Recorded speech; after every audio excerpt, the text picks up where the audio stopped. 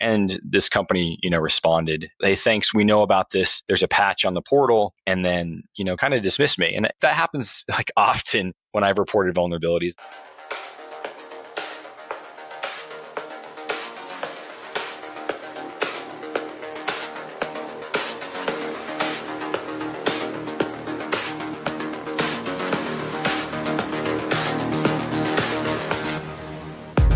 Everyone, I'm Ayman Elsawah, and this is Getting Into InfoSec. This week, my guest is Jared Folkins. Jared is extremely passionate about education and security, so much so that he and others created a nonprofit called OPSEC EDU. Jared shares some really personal stories with us. And my dad just looks me dead in the face and says, Hey, it's not your mom. It's a bit of a tearjerker. We talk a lot about integrity as well as emotional intelligence and other dynamics important in the security field. When I mess up at a system, when I make that mistake, when you have a team that you can trust or a team that honors you, you have the freedom to say stuff like that. Jared has always been able to make the best out of a situation. You get rejected, don't get super emotional. Don't say, you know, screw you guys, F you guys. Just work with what you have and move on. He also shares with us an interesting war story that was also in the news that had an interesting plot twist. The school district that I work for received a threat of violence, a bomb threat. There's so much to cover in the show, I really can't summarize it in the trailer good enough. So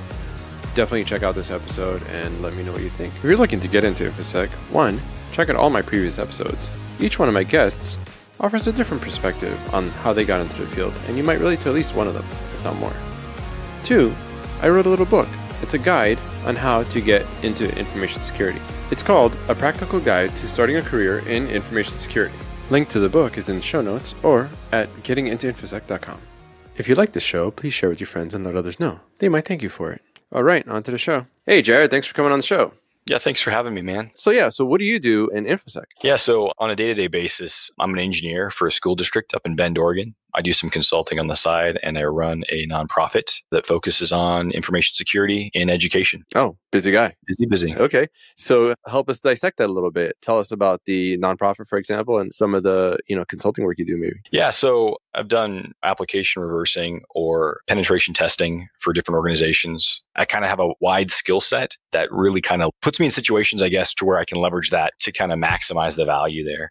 And so for the school district, I just help them manage their systems primarily databases, Linux, Windows, write custom code, write web applications, websites for them. Are you the sole guy there? No, I'm absolutely. It's a massive.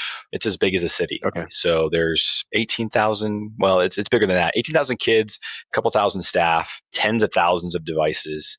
You know, in the past, I've worked many jobs. One of them was an ISP that was quite large before an acquisition, and yeah, so it is quite a large network Okay. with a vast infrastructure. So. it's awesome. And this nonprofit that you're working with, tell us about that. Yeah, so EU basically came about because there's an event uh, that took place that I might get into later. But we started to kind of dive into security more, and I started to test some systems that we had had large system systems that you generally commit to not for like a two or five years life cycle, but like a 20 to 40 year life cycle, right? And and so I started to test these and as I was discovering vulnerabilities, my first instance was I reported it to this massive, yeah, I think it's a Fortune 100 company. And this company, you know, responded, hey, thanks. We know about this. There's a patch on the portal. And then, you know, kind of dismissed me. And that happens like often when I've reported vulnerabilities. And so my style is like, I don't do the whole rant on social media or anything. I just try to make the impact I can make.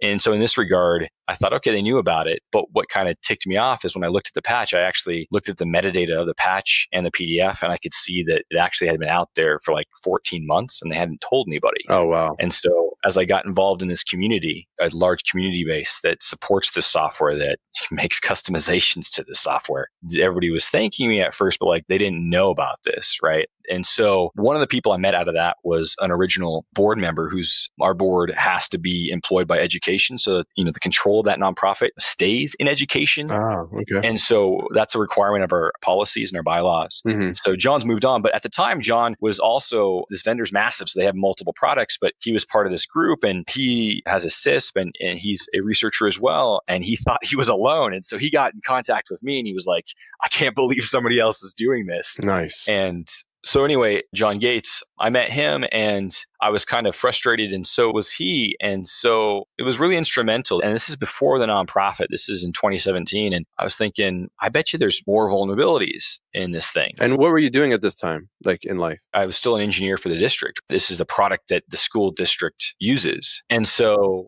I've had roughly a 15 year career in computer systems and now this kind of sidestepping into information security. And I think it's always been part of what I've done, but I've just kind of taken it for granted, right? Like I know how to maintain firewalls. I know how to look for open ports. I know how to lock down Linux systems and try to leverage different tool sets to keep them safe. And I just thought, well, this is what you do. And right. for a lot of sysadmins, that's like that is what you do.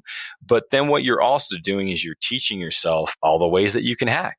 And you're having, at least for me, a really strange learning opportunity that I didn't realize like I was almost hacking myself. And so this kind of comes to fruition here because if you go read my blog, you'll see that I was poking around and hacking and trying to work through different security programs and report vulnerabilities and stuff. And it was an interest, but I just thought, eh, it's just an interest. Like this is nothing I would ever start to really do. You were just a responsible system admin, right? Sure. You have system admins that just make sure that they'll do the minimum, but then you have those the extra to make sure security is ingrained, right? Correct. And like I said, if you read my blog, you'll see that I was into reverse engineering stuff. You'll kind of see that I was into systems that we did that I'm not exposed to really. They had a security program on HackerOne, and I thought I probably could find something here, or I'd run across something that would have a smell and I kind of call it the spidey sense, and you kind of just flow into that. And so I think that was naturally happening. Just my story is a little different there. But kind of getting back to OPSEC EDU's genesis of well i'd like to interrupt you for a second sure so when did you get that itch to you know explore that makes you go the extra length in securing systems right what was that trait that you have yeah. So I would say, like, back when I was nine, my first computer was a Kaypro. I don't know if you've looked this up at all before. It's an old system. and it was my dad's, like, college laptop. But, like, this is a 60 pound machine with, like, a five and a quarter inch floppy and a green screen that's built into it. And, like, you put the keyboard on the front but that was like my very first computer. Nice. 64K RAM? Uh, no, it's less than that. I'd have to go look. But yeah, that was my very first interaction. Okay. And one of the things I did with my dad is that there's this game called Ladder, and basically it's a Donkey Kong clone. But it's really awesome because the ASCII art, like the art in it, it's like a ladder is just a bunch of H's stacked on top of each other. Or like the platforms you're walking on are equal symbols, right? Because you don't have graphics. And like the character who's your lad, he is like a P going one way mm-hmm. to the right, a Q going left, a D when he falls one direction, or a B. So it's this really kind of cool Donkey Kong clone. Right. And I remember my dad had this massive high score on this game. and he's a wonderful man. But one of the only times I ever saw him brag, and he's like, You'll never beat this score, right? And it was like the digital equivalent of like Mount Everest. It's like, it was just astronomical. Uh-oh. And I remember thinking, Ah, I bet I could beat this. Game on. And yeah, you know, we were a really constrained family. Like we were really poor growing up. Hmm. And it, it, wasn't out of poor choices. It's just my folks were into, they were school teachers originally. They're into humanities. So kind of my passion for some of those things originates with them. Mm-hmm. But we didn't have a lot of cash. And so my dad was like, yeah, I'll bet you like 60 bucks. Like, and this is in the 80s. Wow. So I would say like that's, you know, five, 600 bucks to like an eight or nine year old nowadays or something. Yeah. And so I remember I went to bed and I woke up and I had the solution. Oh. And the solution to beating my dad's high score was generally in Donkey Kong, right? You progress through a level and you move on to the next one and you progress through that one and you move on to the next one and you try to rack up free guys, right? Free lives and get the high score. And I realized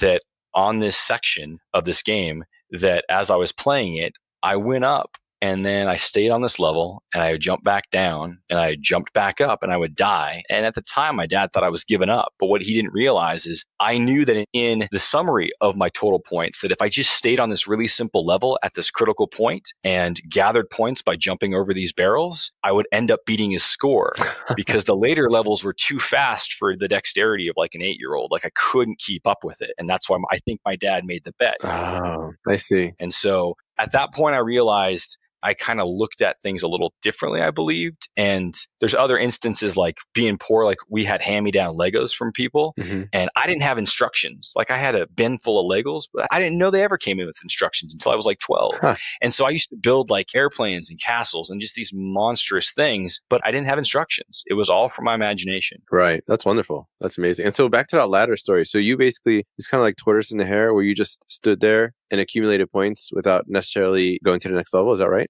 It's kind of like that. There's a guy who made a clone in Java, and we can link to it hopefully, maybe. Sure. And people can check it out. It's the level after Easy Street. I know the level before is called Easy Street, but the level after, I think it's maybe Ghost Town or something. But anyway, Mhm. you did have to still jump and move around, but if you did it in the right way, you could go up and down the chain and you could basically make the game fire a lot of barrels essentially. Oh, I see. And as they fired, you could force it and then jump over these barrels and get more points. And then I would just die, start the game over with a large clock on this easier level and do that. You know, this was the different take on it, I guess. Yeah. Okay. And so fast forwarding, did you know you wanted to get into technology or IT at that point? And then from there, how did you get into security? Yeah. So, like, there was this computer shop called ABI Computers, and maybe everybody had one of these back when they were growing up in like the 80s and the 90s. And I remember they would always talk to me and they would fix computers.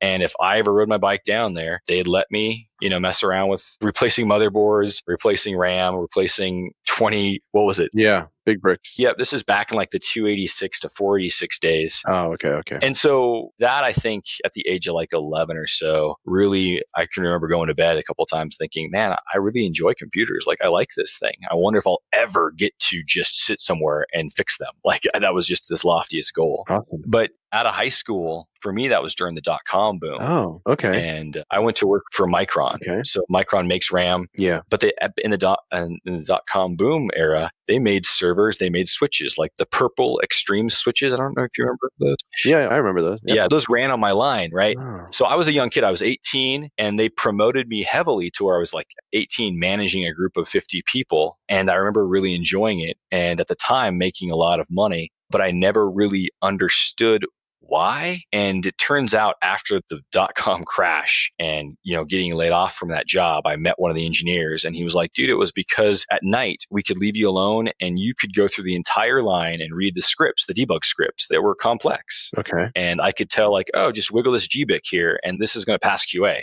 And so I think again, it was a signal that that code was in my life. I just didn't know it was going to be that valuable yet. Wow, that's interesting. So hold on, you were reading these scripts. Tell me more about that. Sure. So, like, if you're going to build anything on an assembly line, Mhm. this was assembly manufacturing, you'd have maybe eight to 10 stations. And the first station might set up the chassis, right? The next station might do like the first logic or motherboard, and the next station might do like a network board of some sort. Okay. And every step you'd have to like use tools with air compressors sometimes, or maybe it would be a testing station Mm. and you would plug it into a certain IO port and it would run a test. But a lot of times what the engineer was used to having happen is that people were pretty lazy. They wouldn't know how to read the scripts or they wouldn't read the scripts. I don't actually don't know if anybody actually could read some of those scripts. Mhm. It was the wild, wild west during the dot com days. I mean, people have got stories. This is mine. Yeah. And so I don't really know. Most of these folks were just instructed to pull to the side because it was a night shift job because the line was going 24 7 and they would pull it to the side. But with me on that shift leading those people, I would just step up, read the script, realize, oh, you forgot to ground like this board or something. Oh, I see. I see. and I we see. would move it along, right? Oh, I see. Without me on this line, there would probably be about 30 systems waiting. And I didn't realize that that was my value. I was so young. I just thought, I guess I'm doing something right. You know, I, didn't know to ask until that encounter where he was like, no, you could read these scripts. And so he was telling me I could go in instead of managing or fixing 30 systems and troubleshooting them in the morning, I could go have coffee basically for an hour. Right. So, mm-hmm. you know, that was the value that I learned later I was offering. And again, it kind of triggered like, you know, later on in life, like, oh man, this programming stuff or being able to read this code is probably something to invest in. And so, That's pretty cool. yeah. You're still a teenager at that point, right? Yep. Or pretty young. 18. I think when I got laid off, I was 19 at that point. Okay, so you got laid off as part of the dot com bust. Yep. That was my first encounter. Like, if students are listening to this and the kids that I mentor, I know they'll be listening, but like they've heard me talk about global economies and asset bubbles. And it's something I've investigated since. And I think the signals were there to like discover that. But at the time, I was so young, I didn't know. And so for me, you know, like I said, 300 systems 300 switches or servers a night. We were kind of shoving off this thing. And I came Mhm. in and I saw the board, the build board, and it said three. And I was like, hey, there's some digits missing from this thing. You know, no, it was literally three systems. The order was that was the total for the night. And if I had done my research, I would have seen that six months prior, the stock market had tanked, right? And it kind of took the ripple effect that long to get to me. Right. Cool, man. Moving on. So, what did you do after you got laid off? Like, what was life like? Yeah, so life was pretty depressing. I learned really quickly that having my self worth tied solely to my job wasn't healthy. And so I was kind of bouncing around. And one story that I share with students was people have always trusted me and I've always worked hard to keep their trust. And so I got invited over to some old coworkers' house and we were playing the PS2 had just come out and I forget the video game, but we were playing that and they said, Hey, Jared, you know, you're good with numbers, you're good with math. You know, we got a business proposition for you. And I said, Oh, you know, I need a job. This will be great. And they took me to a spare room and they opened up like this four by eight or eight by four closet or whatever. And stacked from floor to ceiling was just pounds of marijuana. Wow. Like it was floor to ceiling. Wow. And you know why I tell that story to kids a lot too is you're going to be faced with choices in life. Right. And I remember they handed me a book, their ledger, and I looked at it and I realized really quickly like I could trim so much, like I could help them so much if it was just a legal business. right. And within a couple minutes, I snapped out of it. And I had that thought that my mom and dad had instilled in me, which was, you know, what do you want? What do you want to be? Like, who do you want to become? And I just said, hey guys, thanks. This isn't for me. Mhm. And I left and I never went back. Right. And so at that point, you know, Talk about a fork in the road, right? yeah, totally. Absolute fork. And I think kids, I think students, I think people are faced with those choices every day and we don't confront them and we don't celebrate them enough. And so I don't know. I get that out there and I like to hear, I like to celebrate kids, especially at, at the school district when they make a choice that they're proud of. Yeah. They know they trust me and they will share. But it's based on that kind of mutual sharing. And so for me, after that, it was a kind of a wandering moment, right? This is right before I got hired into a help desk you know, my work, even in the security work that I'm finding myself in, is that I believe in the power of admitting when you're wrong, right? Like if I work on admitting and honoring the people in my life and saying I'm wrong when I mess up, like when I get to work and I blow away a file system because I was being stupid, right? And I wasn't following a procedure or I didn't write the appropriate script and test it. When I did that early in my career, it was always better for me with the community I was working with to just say, yep, I messed up. These are the exact commands. I'm so sorry. How can I help fix this? Well, how did you learn that? What reinforced that behavior? So for me, it was around the time right before this first help desk job. I got married really young. I found my partner when I was 17. Okay. I got super lucky. Good for you. And yeah, it's been great. And I still love her. So that's great. Yeah. Awesome. anyway, so at the time we had a vehicle and it was like it was about to die and we were broke. She was finishing up her master's program and it was just that crunch time where you're broke, broke, broke. Mm. So we had about 12 months left. And my younger brother drove over and towards the end of his visit, he said, Hey man, you know what? I'm going to buy a new Honda. Just take my Mitsubishi pickup here. And I'm like, man, I can't afford this. And he's like, tell you what, can you pay me anything? And I said, well, you know, I could cut you a check for like 10 bucks a month for a while, but like, I can't really do more than that. He's like, perfect. Pay me 10 bucks a month and we'll figure out the rest later. This is your little brother, right? Absolutely. Wow. So, like, if you're the oldest, right, you're used to trying to protect your sibling. But I can tell you that, you know, to my shame, that month, the end of the month would roll around, I'd be doing the budget. I'd go to cut a check for my brother. And I'm like, you know what? Jay's not going to miss this money. Like, he's single, he's making good cash, he ain't going to miss it. And so I just kind of skipped a payment, right? No big deal. Mm, But, you know, one payment turns into three, right? right. and three can turn into six. And before you know it, six turns into 12. And I don't know if people are like me, but for me, I carry my guilt between my shoulder blades. Like I tense up there, I feel bad. And I remember my brother called me up and he said, Hey, bro, you know, Jamie, that's my wife. She's graduating. I want to come over. We're going to party. It's going to be a great time. And he hung up and I was stoked to see him. But that weight I was carrying because I was embarrassed because I was not honoring that commitment sucked. Right. And so we had this great weekend, wonderful weekend. And my brother went to leave at the end of that weekend. And like I was just really convicted. I called out to him as he was exiting my house and I said, Hey, Jay. And I'm like, I just got to let you know, I'm so sorry. I'm in the wrong and I owe you for this pickup. Right. And he just kind of gave me a hug and said, I knew you were going to tell me that. I absolutely knew you're going to tell me that. Wow. And so he took off. And a month later, I get this knock on my door at 7 a.m. and my family lives about five hours away. And I look through the people there and I see my dad in this morning light and I am just stoked. I'm like, oh, my family knows I got the a get me by job, as I call them. Right. And I thought, you know, my dad's coming to surprise me. My mom, my brother come to surprise me. And I open up the door and my dad just looks me dead in the face and says, Hey, it's not your mom, it's your brother. And he told me that my brother had been in a terrible accident and had drowned Oh my God. with all of our best friends around trying to do CPR. My brother and I are really straight people as far as drugs. You know, we didn't do drugs. hmm We were raised to be responsible and to help other people. And so the piece to my brother is I was the first one when he was 15 to find him having a grand mal like epileptic seizure. And that's a hereditary thing Oh, in my family. And so that was a number of years before his death. But he basically, you know, I can still remember like the EMTs are saying, Hey man, just what drugs did you do? And my brother, like full seriousness, just wiped out because he'd just gone through this brutal seizure and I'd watched him have it. And I thought he was dying at that time. And he pulls the mask off his face and says, drugs off of losers, like right, right to, right to the firefighter. Just, and that was his humor. It was, he was totally joking. It was a wonderful sense of humor. It was so endearing. uh-huh. But yeah, his death absolutely related to his epilepsy. He'd had a seizure and he had drowned. Wow. Um, and that's very common for epileptics is water is a huge risk in your threat model, as you would say now in InfoSec. So Wow. My condolences. My yeah, condolences. thanks. I mean, does the water cause it in any way induce it, or is it just happen to be? No, you're just absolutely vulnerable. Yeah. It's like your kryptonite. Right. You have a seizure and people are too far away from you. They can't get to you and you're just gone. So Right. I'm sorry to hear that. yeah. So lessons learned from that. Yeah, like I said, it reminds me daily. Like I'm so thankful I don't carry the guilt. And it might seem small to the listeners of like saying, "Oh, I'm sorry about not paying you for your pickup," but like I would have carried that. Like I'd be this today, still being like, "I suck."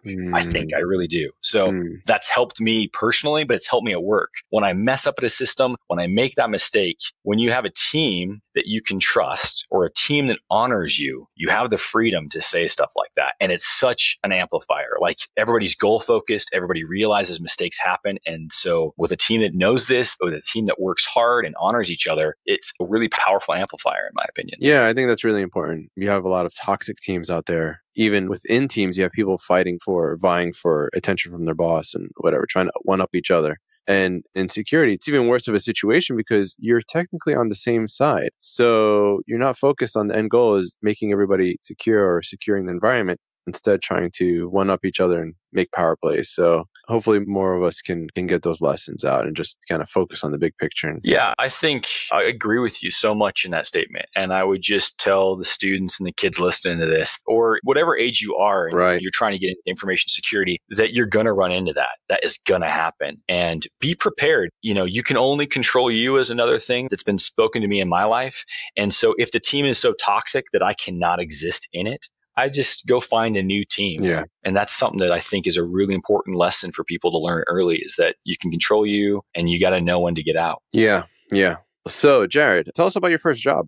So I would say my first like job to get into information security was I worked at a help desk. And from what I gather, this is pretty common for people early in their careers or at any point is there working at a help desk, taking those tickets in, working with your customers, whoever they are, face to face over the phone, remotely. And for me, one of the things I leveraged in that job was I would bust through my tickets really fast. I would bust through helping out people Mhm. really fast and I was super competent. So I had these blocks of time in between uh, helping people. And so I started to focus really on programming. I just thought, you know, I really enjoyed this. I enjoyed my time in, in other jobs like the Micron job, where, and I think there's something here. And so I would just spend any free moment uh, programming in that job for a number of years. But the reason I could do that is I was adding all this value for my boss. Like I would just bust hump when I needed to Yeah. and spend some downtime programming. So, Nice. Boredom leads to creativity, right? Yep. So, and here's the thing too, like the network engineer, I would have loved to get more into networking and I know a lot more about it now in my career, but at the time I would have loved to. But for folks to think about is that also constraints can be healthy. Like that network engineer, you know, pretty gnarly, not super cool, like pretty possessive and egotistical. And so I wasn't allowed to touch the networking stuff. Ah, yeah. And so there was a lot of things I couldn't touch, like, oh, that's not your job. And so because of that, I was like, well, I've got a system that's given to me and I can control the system hmm and I can just start messing with programming languages of any sort. And I just dove into that as far as the programming languages I've worked with over my career now are pretty quite a bit. So, Yeah. Work with what you have, right? yep, You know, sometimes you don't realize what you have until you really dig in and take a look. yep. Cool. And so, how hard was it to get that job? Did you have trouble interviewing? Did you go to school before that? You know, like how was the interview process? That job was super cool. I had built something in Flash for ActionScript with some code too, something kind of cool. Nice. And it was totally unrelated to the job, but I took a risk. I took, what was that? Probably like a Mac G3 in there at the time to that job. And I said, Hey, I can build computers. I can fix them. I've done this and I can also do these other things. Um, that was right after you know my brother's death, and I was thinking, "There's no way I got that job," and I totally nailed it. So I think stepping outside of your comfort zone super healthy too and being okay with no like you know i had also gotten told no before and that's okay too at that time Mhm. but taking that risk was super good Was there an interview that didn't go well or that you expected? oh absolutely i've been shredded later in my career with interviews Walk us through that. yeah having an interview go really well not understanding the landscape having then a consultant come in and being fairly young and not realizing that if you got hired you would take this consultant's job. And so the consultant sets out for the next hour to find any flaw that you have Oh, in your knowledge set and shred you just in front of a panel. By the end of it I was escorted by the lowest member and just dismissed because every opportunity they could find, if I failed at a regular expression, if I failed instantiating a variable correctly or like allocating memory, you know, it was just a brutal situation. Aside, I won't go into it. The nicest kid, that kid that walked me out, Mhm. later got cancer and passed away. oh my God. It's irony. It's like, Oh, if anybody should have died, it should have been these a-holes. And like, I really appreciated like this kid's walking me out and he's like, man, I think you're super smart, but the situation's kind of rough. And I just appreciated him so much. And yeah, he got lymphoma and yeah, passed away. How did you know? Did you stay in touch with them? or Yeah, I did. Totally stayed in touch with him. Oh, okay. Yeah, we would email once in a while. He really enjoyed Ruby. I'd worked with Ruby. I like uh, the language and I'm not a snob. Like if it's working for you, great. Ruby's not for me. Like I like to do a lot of things in parallel and I like things to be fairly optimized. You know, I'd written a scraper to kind of hack the housing industry a while back hmm and I did it in Ruby and it wasn't performing and it was always crashing. And to like dive into that script, the tooling at the time, like this is 1.9.3, like I didn't have a lot of introspection into what those processes were doing. I had to like just wait for like a dump stack that would like puke out this weird X, I forget what tool it was, but this XML file that I would ingest. And I realized that by default, if you didn't run a certain method, it would never close that object. Like that object would never get garbage collected. And it took me forever to figure it out. So I don't exactly realize where I was going with the story, but uh, sorry. that Well- was just a nerd out moment. so, well, so let me ask you. So, after that interview, psychologically, how did you bounce back? Because a lot of people out there have had or will go through bad interviews, right? So, how did you bounce back? yeah. So bouncing back, you know, I'm married. I was married. I remember walking in the door and my wife's like, you got hit by a, like she said it, you got hit by a bus. Oh, And she oh. knew. I'm like, I've never been through something like that before. And so her encouragement, instrumental. She says, you know, interviews are absolutely two way streets. There's probably a reason. And later on, I get more of that story about the consultant. I hear through the grapevine and, and kind of luckily for me is the networks you operate in tend to act, actually be super small, the people networks, the human networks. right. And so I now work with people who used to work for that organization Hmm. and they've told me like, dude, you survived a dumpster fire. Like you dodged a bullet Um, but I've kind of learned to listen to that too. Is like you get rejected, don't get super emotional. Don't say, you know, screw you guys, f you guys. Just work with what you have and move on. And if your gut's telling you this isn't a good fit, politely just say, hey, yeah, appreciate the offer. This isn't a good fit, and move on. Cool. Yeah. So, Jared, any interesting war stories through your travels of InfoSec? I mean, at schools, you've probably seen some interesting stuff or private sector. Yeah, I mean, private sector, some of the things I can probably talk about at this point is some of the problems that you might run into when you're trying to look for a good, you know, employer to work for. I remember I ran across a system and this company was incredibly large and this system processed payments and I ran across a rootkit absolutely in this system and I could tell, I could tell exactly what was going on when I saw it. Wow. And it took me a while to convince another sysadmin. And finally I did. And I thought, ah, I got an advocate, right? And we took this to somebody in charge and we were under a deadline. I was writing some code to distribute new firmware to a bunch of endpoints is probably the easiest way to put that. And there was no formal API. So I had to reverse engineer how it was all put together because these endpoints, yeah, they were just pulled straight from China. Mm. So anyway, that was the task at hand. And when I said, hey, you know, I was doing some general maintenance and saw this alert, I went into the system. There's a rootkit. Um, they said, we'll just delete it and get back to work. And I said, like, you know, oh, man. we got to rebuild this thing like this. We're processing payments. And they said, well, we're not even sure it's a rootkit. So absolutely don't look at it anymore and get back to work. And that war story I tell to students because I'm like, you're going to run into that and take that as a signal. It's not like, in my opinion, don't retaliate, don't get angry. But like I went home and this is how Jamie and I operate. I just, when I know that it's time to move on from a job, I say, Hey, this happened today. This isn't sustainable. And we usually put a plan in place for 12 months that I'll be moving on from a different place within, you know, one to 12 months, whatever happens. Mm-hmm. And so in that instance, uh, yeah, we put a plan in place and moved on. Okay. And now a message from our sponsor. Have you ever wanted to write that email when you were mad, but just didn't have the patience to wait until later when you were cool like you're supposed to? Have a habit of not reading your emails before sending them? Are you a little curt or too blunt in your wiki entries and security policy documents? Well, we have a solution for you. The Emotional Intelligence Keyboard. This handy keyboard automatically changes your perceived mood from hostile to gentle. It uses algorithms derived from past TED Talkers, Tony Robbins, and even Oprah. It also features an empathy knob. Turn the knob up when you want to relate even more to your audience. It's plug and play you just need to type, and it will take care of all the niceness for you. There's a really famous war story that you have. Can you talk us through that? Yeah. So in 2017, the school district that I work for received a threat of violence, a bomb threat. What's not talked about in that threat is that there was also a threat of self harm. And so when you work for your community, and I have a really small, tight knit community relatively to like the Bay Area, you know, roughly 90,000 people comparatively, like there's a very familial stance about that stuff. And so you obviously have to do the right thing. I would hope anybody listening to this feels that it's obvious. But, and so it became an investigation that I was assigned to. And so I dug into some logs. You were assigned by the district, right? Yep, to act as the technical lead on this. Okay. And so the way it went down, right, is I'm coming into work and I get this call from my boss saying, Hey, there's this threat and I need you to go out to the school. And I said, Okay, I'll meet you out there. He's like, Dude, I'm not going out there. This one's on you.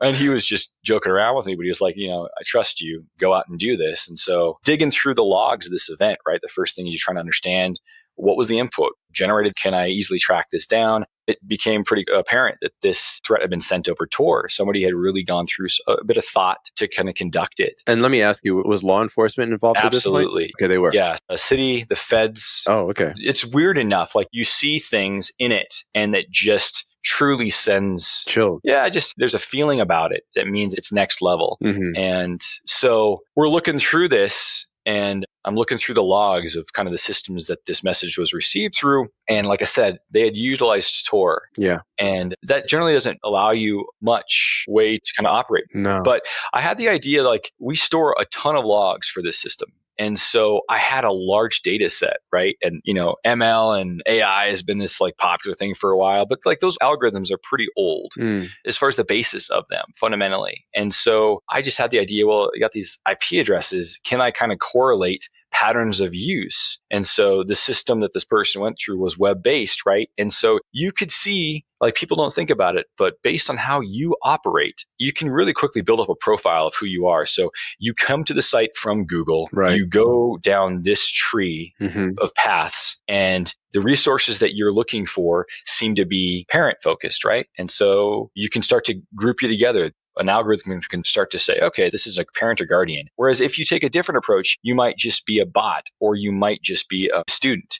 And so it was pretty apparent based on the patterns of use around this event that there was something interesting. And so a result kind of came out of that system that immediately led us to a student and this is where I feel it was a huge learning opportunity, but I kind of got in over my head. And I think my advice for folks is sometimes you're going to be over your head and it's okay to recognize that. Take that breath, think of your successes and move forward is what I just kept kind of saying to myself. And they were like, Hey man, we need you to be the technical lead out in the field. And so now I'm pulling the data that's kind of pointing towards the student potentially, and I'm called to kind of assess this too. And was law enforcement like standing over your shoulder? Totally. Oh, really? Yeah, they had taken over a cube behind me. And so you use user agent strings, you're looking at IP addresses, all that stuff, all the metadata, Absolutely. right? Yep. Now you've got this information in your head and Yep. I guess we've got this information. We work with the correct organizations to get the proper legal avenues to understand it's potentially the student that is in our district. And I'm now called out to go interview this student. And as the student is sat down and as their parental unit is there and listening to this young person, it becomes pretty obvious that they're lying, like really lying about something. Hmm. And it just makes everybody suspicious. It's really brutal. And my technique I use a lot of times Hmm. if somebody tells me that this person down the street is my neighbor, is like not a good person, I'll actually just go meet that person. I want to assess it for myself. Right. I want to know. right. And so I went into this with just, I didn't want to know anything about the student. I wanted to assess. I wanted to truly give an opportunity. And, you know, the, pretty quickly, this, the student's crying. And finally, the student's parent speaks up. And as somebody who cares for kids, as a parent, I thought, okay, cool. This is this person's advocate. This is where they get involved. This is appropriate, regardless of what happens. This needs to happen. And this parent says, Hey, you know, Jared, when did this threat get sent? And I said, Well, it was about this time. And this parent says, I wasn't even home yet. I wasn't even at my house. And by the way, I don't even know how to work the type of device that you're talking about. And I realized that this kid didn't have an advocate, that this kid was getting chucked under the bus by the person that was supposed to protect him. And that radically shaped my perspective. Hold on. Tell me about so the father, The parent, yeah. the parent is saying they weren't home. Yep. Because this threat came off network. Oh, I see. Okay. Yep. So we had put together the metadata that substantiated essentially this IP was in enough of the right spots, you know, to ask these questions to get the right subpoenas because it was just the perfect, a lot of things aligned. And I won't go into all of them. Right. I just ask for a little trust that a lot of things aligned. Okay. And so, but I thought again, this kid's got this advocate and it's speaking up. This is the moment, right? Regardless of this kid's socioeconomic background, this is the advocate. And this parent just chucked him. And I realized this relationship is toxic. Hmm. I don't know what happened in their lives to make it this way, but they hate each other. Hmm. These two people hated each other, this parent and this child. Okay. And I left, right? It's, I left. I get home late. It's about 9 p.m. My kids are already in bed, but they had stayed awake. And I went up to tuck them in. And kids are super smart. Like if you treat them like just little people, they are so smart. Yeah. And my six year old said, Dad, why are you so sad? And I, and I was trying to be honest with them, but I wanted to anonymize it, right? I didn't want them to have to carry everything I was carrying. And I said, Hey, dad had to work with this little boy today. Dad thinks this little boy's lying. And dad thinks this little boy might jeopardize his future. And dad's scared for him. And my son, who's just a wonderful human being, hmm he looks at me and says, Hey, dad, would let this little boy know. I'll be his friend. And I'm sure, and this is the brutal part, I'm sure his dad's just like you and his dad's going to protect him. Oh man. And like I was, again, I've used the word in this conversation, but I was convicted. And I went downstairs to talk to my wife and I said, Hey, I got to treat this kid as if it was my own. Hmm. Well, how hard would I work if this was my kid? Right. And so I went back and I said, I'm going to work this weekend. I'm going to look at all my data sets again. I'm going to process everything again, affirm to myself that my conclusion is correct. Right. And I remember working all Saturday and well into the night. And I went to bed and I woke up. And again, critical to that kind of Capro story I told, that ladder story, I woke up with the solution. Hmm. I woke up at two. Power of the subconscious, man. I think so. Yeah. I woke up and I said, wait, I'm asking the questions like, of the ones I'm thinking of, the relationships in this network that make sense to me. Like, what's so abnormal that shouldn't even exist? Right. Hmm. And so I went and did some more analysis, and out of that analysis popped this one IP address. Oh. You know, it was open network, didn't appear to be a Tor node or anything. And I was like, this is so weird. And as I dug into it, I realized that in this vast, large data set, the exact endpoint page in question, this IP address in a close enough time frame, not so close to be apparent, but at a close enough, I would say, was there and it had hit that one page once and only once across this massive data set. Right. And I thought, man, that is really strange. And so I remember crafting an email like in the middle of the night there. Sorry, crafting two. One of them was to a special agent. And I said, I just hope you can trust me. This seems meaningful. This signal seems meaningful. And I'd really appreciate it if somebody would look into this. As far as my investigation goes, this is the last thing I can give you. I've really exhausted all the resources that I have available to me. Hmm. And then I emailed my leadership, you know, and I worked with some really wonderful people who do love kids. Awesome. And I said, hey, I think it's important to remember that although this student is absolutely lying Mhm. and there are so many red flags, that this student doesn't have an advocate. And regardless of if we think we're called to it or not, I believe that we have to step in and take that into account. Right. And so I remember Monday came and, you know, like nothing happened. And I was just feeling so bad for this kid because I thought that maybe it was he was in the wrong spot Mhm. at the wrong time. And I was scared for him. I had really taken on that ideology of that this was my kid. And then I get this text message on Tuesday saying, be in the superintendent's office at like 6 a.m. or something sharp. And I'm like, oh, geez, this is going to be important. And I get in there and basically this whole task force is on the phone. And what had happened was the endpoint that I had given them, this one last tiny minuscule piece of data, they weren't going to operate on, but they took a chance and they sent a field agent out. And out from this house, as this field agent arrived to this house at 7 p.m., comes this small family with a 14 year old child. And they were headed to this child's birthday party. Mhm. And the agent said, Can I talk to you really quick? And almost immediately, this kid just breaks down Oh wow. and says, you know, and is confessing and says that a girlfriend, so th- this kid is 300 miles away. He's not, as far as my morals go, he's not my direct responsibility. Mhm. And so he's saying, I got angry at an ex girlfriend. And so to get back at this person, I had Googled, found a way to send this message and tried to just terrorize this community based on this massive threat. Wow. Wow. That's incredible. What an incredible story. And a couple of questions. I mean, so many questions, but like, what was his motivation to lie, the, the kid? There is a logical answer that once you get more operational detail of that starts to click, but I can't talk about that. Okay. Well, Joe, that's an amazing story. And I'll put a link to the news story in the show notes. So let's take a beat, as you say. What's the uh, doing the right thing can be a profitable thing? What's that briefly? So I think that there are companies out there that are taking security seriously, like truly taking it seriously, and they're aligning their product and they're saying, you know, security is part of the product, right? We have these policies where if you're a customer, you can email us. And this is super rare. I won't name the company, but this is super rare in education, especially. You can email us and we'll send you our annual audit, third party audit of the software where somebody's actually kind of torn into it Mm, and they'll give you a landscape of our infrastructure and our stack so that you can see someone's doing not only just due diligence or liability, but like actually trying to secure stuff. Yeah. And so I look at this company and I don't know too much about them, but I see those signals where they're kind of taking that on saying, let's be progressive about this. And I think that going forward, that will be the truth when somebody will continue to be a greater truth when somebody says, you know what, people care a lot about security and privacy. And if we hinge a core tenet of our product on that, we can differentiate in markets. Yeah. I mean, there's tons to be said about being transparent. It's just a really good way to build trust, you know, as opposed to taking the opposite approach and just hiding everything and saying, oh, just trust us. We take care of security, right? Well, you know, let's prove it. You know, Right, give us something to help build that trust on, right? right. Tell me, what is some advice that you have for folks, students, young and old? I mean, high school. What is some advice that you have for folks out there for getting into security? My advice for folks getting into it is is one of the things I think that's helped is working with underfunded organizations.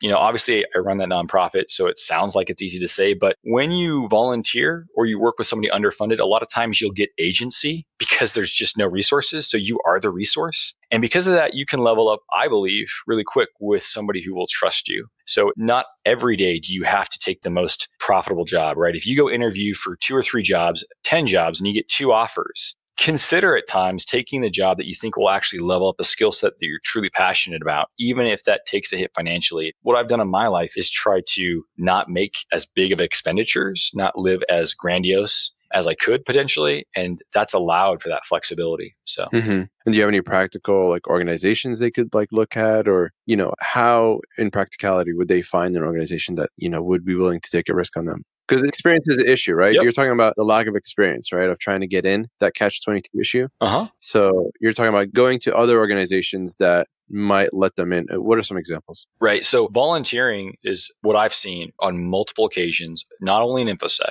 is an amazing thing. Can help you level up. Like you will network with people of your own accord. And because you're giving your time, they either got to decide to work with you or not. And they got to see if you have skills and they got to see if they can trust you. And and myself included, I've been given a remarkable level of trust on something that probably on paper originally I couldn't articulate that I could do. Like, could I lead a consortium? I'd never done that before. Mm, Could I make a 501c3? Never did that before. Reverse engineered that entire process for all the tax process, right? right. And because of that, people rally behind you when you start to earn trust. And then I've been put in situations where I've been given access legally to systems that I would have never had access to to help out with. hmm And so then you can take those experiences practically and move those into your search for a job. I've listened to some of your other episodes and I can't recall who said it, but somebody was talking about, and I know I read some of your book. You talked about building a home lab and different things. I think one of those critical things is the self motivation drives those types of conversations, the volunteering, the building the home lab. And so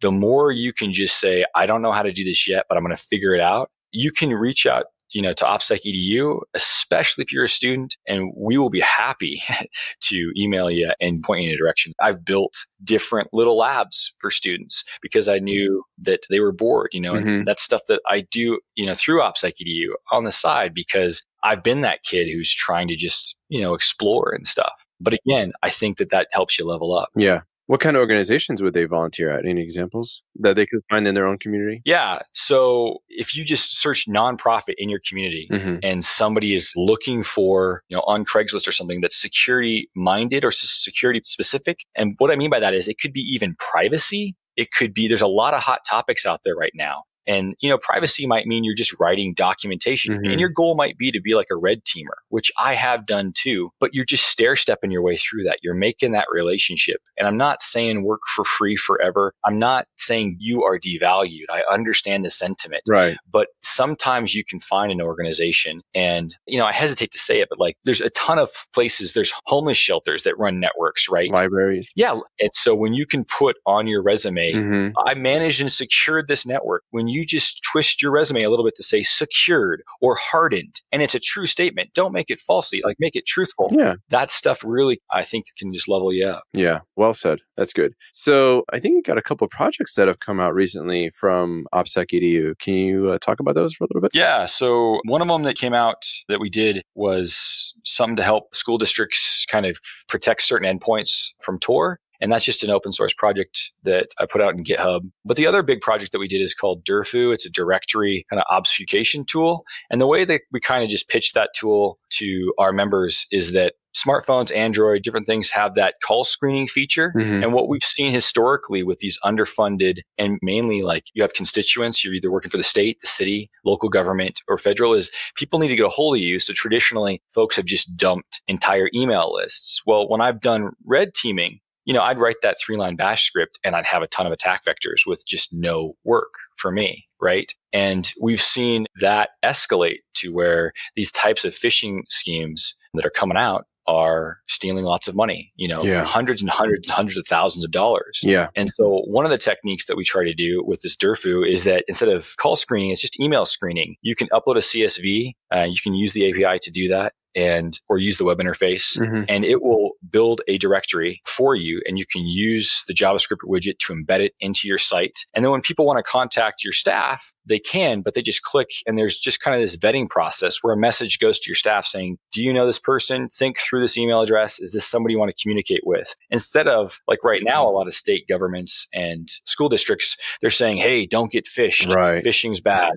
but then they'll just wholesale dump out these massive spreadsheets with all the attack vectors of your staff. Yeah. So we just launched today and already people are responding well and are super curious. We were able to do that. I just want to, you know, they didn't say how to do this, but we did secure a small grant from Microsoft Azure. So thanks to them for hosting that. Nice, nice, great work, man. Yeah, I tried it out myself. Uh, it looks pretty good. You have to confirm. You have to, you know, have a valid email address. So that's like half the work right there. So that's pretty good. Cool. I like it. So um, that's pretty cool. Thanks. Yeah. So you talked about red teaming. What is the most interesting target that you've obtained in your red teaming days Yeah. that you could talk about? An interesting story there is just how stale passwords are still. I'll put it this way when you profile a company and you do your reconnaissance and you gather, like, this is a high profile target, I remember starting a project thinking, wow, that target's super juicy. I would love to get credentials for that target.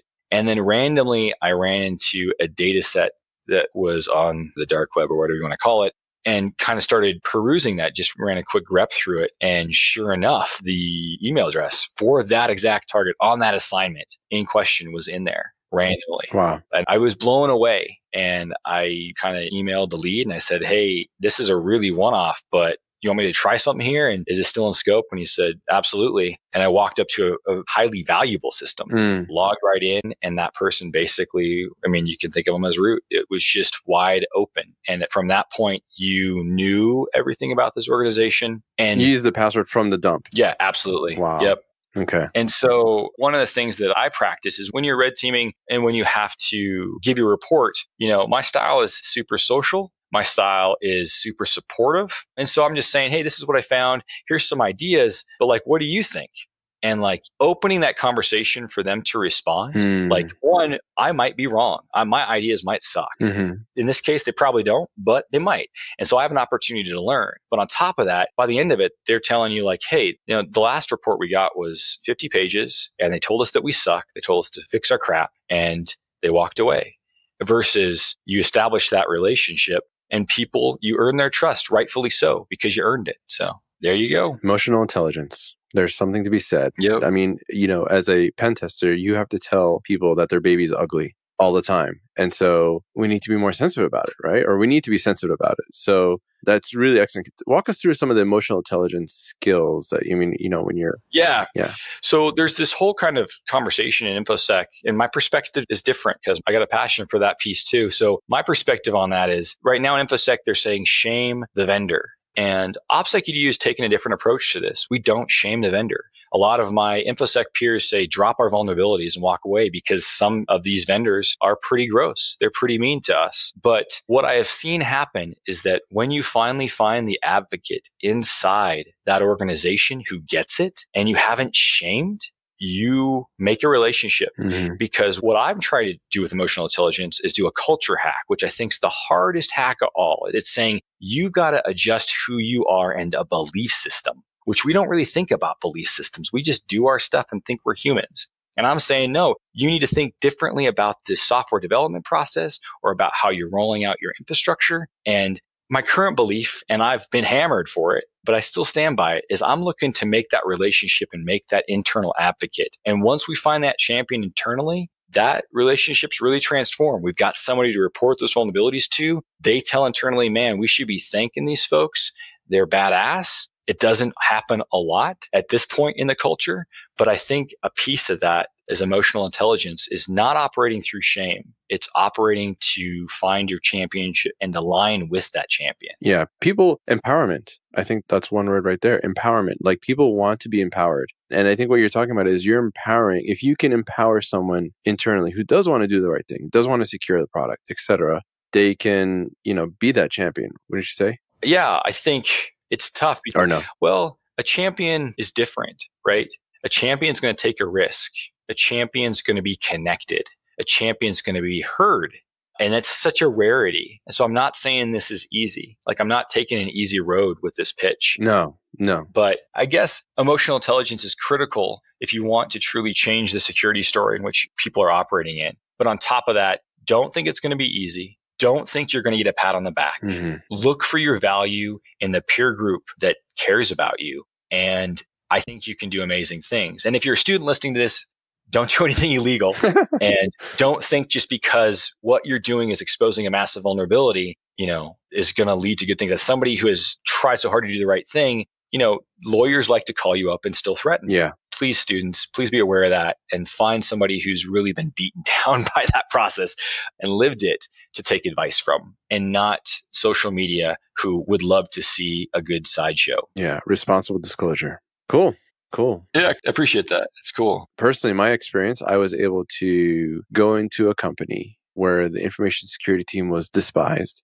And three years later, I mean, at least a year or two later, I would have folks coming and meeting me in the hallway and say, Hey, Ayman, did you know about this? I think you want a heads up about this. There might be some security issues there about projects coming on.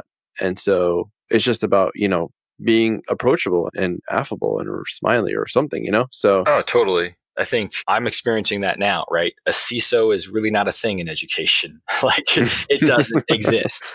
And yet people know I'm passionate and people have seen me be skilled and have acted in a way that they would want to be treated, right? Yeah. And so I absolutely have the same thing. Here's a gift card, Jared, because the way you approached me was so respectful, it made the difference. Right. Or like you said, I found this weird thing. Thought you'd be interested. Yep. Thanks. Right. Yep. And I think going back to what can people do to level up, if you start in system administration or on the help desk, but you have a passion for information security, right. when you get that job on the help desk, like I didn't stay there long, right? I realized that where I wanted to go and I realized that I wanted to be empowered to do more advanced things, but I also knew I could grow a skill set. Luckily, you know, I kept interviewing different places and different things to finally find I aligned with folks who were going to say, hey, you know, just run with this, go for it. We trust you. Yeah. We need you. Yeah. Yeah. I mean, just be approachable and be a nice person, right? Be human. be human. it's pretty hard, it seems like. I don't know. There's a lot of challenges there. Yeah, we'll see.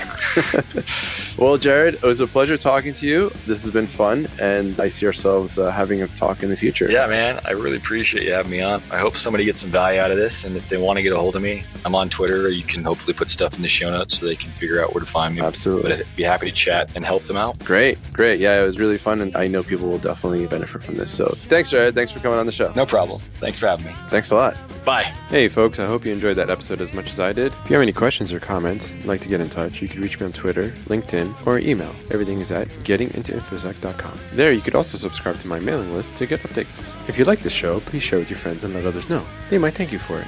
Every week, I let my guests pick their music, and this week it's Actions Speak Louder by Straightforward. See you next time.